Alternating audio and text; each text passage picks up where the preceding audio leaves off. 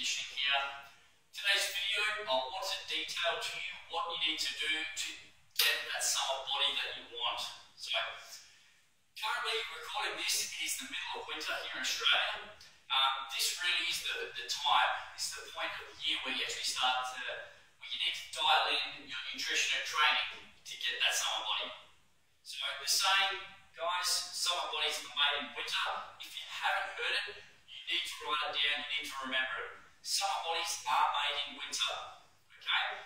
So if you're not happy with where your body currently is, and you want to look good for that, for that, uh, that getaway with your girlfriends, or that holiday with your family, or just looking good in the bikini uh, for summer guys, and ladies of course as well, you need to take action now. Okay, now is the time when it's cold, when it's wet, when it's windy, you need to implement your training and nutrition now to get that summer body. Okay?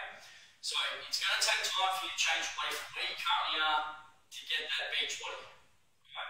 It's going to take 4, 8, 6, 12, 16 weeks. It's going to take time. So that is why you need to start it now. Summer bodies are made in winter. You need to dial in your nutrition and your training in the middle of winter to get that sexy body that you want for summer, which is coming.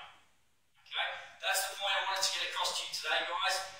If you have any questions regarding nutrition, how you can tighten things up a little bit, um, if you maybe hit a plateau, you're sort of you're losing weight now, sort of stalled off, get in touch with us. Send us a private message on Facebook. We'd love to help you out.